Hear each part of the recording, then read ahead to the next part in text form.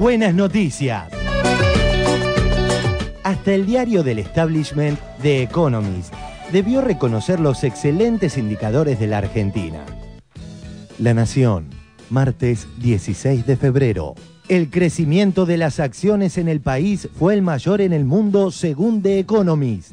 El semanario británico publicó un ranking de Thomson Reuters en el que el rendimiento de la bolsa argentina fue el primero entre un conjunto de países medido en moneda local. La suba de las acciones en la bolsa argentina en 2009 fue la primera entre un conjunto de potencias económicas y países emergentes, en un ranking que destaca el crecimiento post-crisis, publicado hoy por The Economist en base a datos de Thomson Reuters.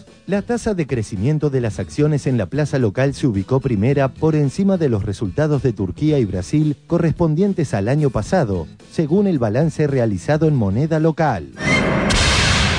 Otra buena noticia de ayer fue el aumento a los docentes. Tenemos también eh, la alegría de poder comunicar a todos los argentinos que nos hemos reunido en el Ministerio de Trabajo y hemos cerrado el acuerdo paritario para este año en un gran esfuerzo,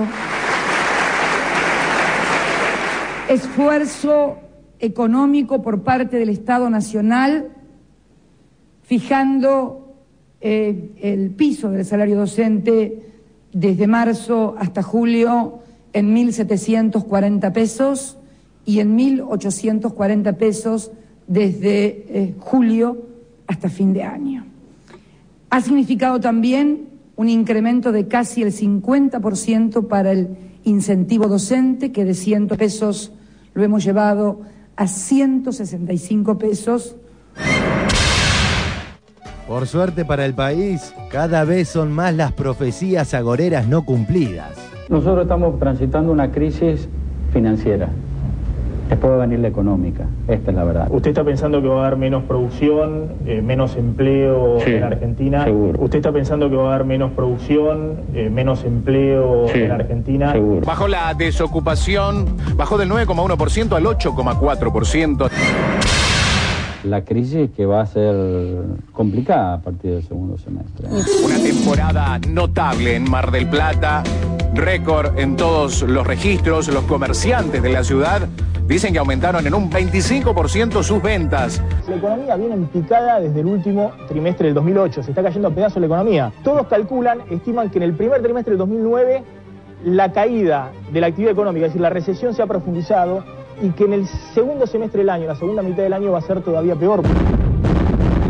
Algunos números de enero de cómo viene el consumo a lo largo de este mes. Fíjense ustedes, prácticamente no se ha sentido la crisis del tema Banco Central en el consumo. ¿Por qué? Hay una concepción de la gente de que hay una especie de fin de la crisis, tanto acá como en el mundo. Pero también, quédense con este detalle, ¿no? Ya se pagan más de 3, más de 3 millones y medio de asignaciones universales por hijo. En el último trimestre del 2009 la economía creció y bastante. ¿eh? La crisis que va a ser complicada a partir del segundo semestre. ¿eh? La caída de la actividad económica, es decir, la recesión se ha profundizado. Qué bueno, ¿no? Qué temporada brillante para la gente de Mar del Plata, que tiene negocios, que tiene restaurantes, casa de ropa, porque todo funciona, gracias a Dios. El proyecto de las AFJP, que el proyecto iba a mejorar la situación de los jubilados argentinos. No hay un solo jubilado que esté mejor después de ese proyecto. Aumento para los jubilados a partir de marzo del 8,21%, con lo cual la mínima se ubica en 895 pesos y en 940 si se suma además el subsidio de PAM. Y esto alcanza a casi 5 millones de jubilados.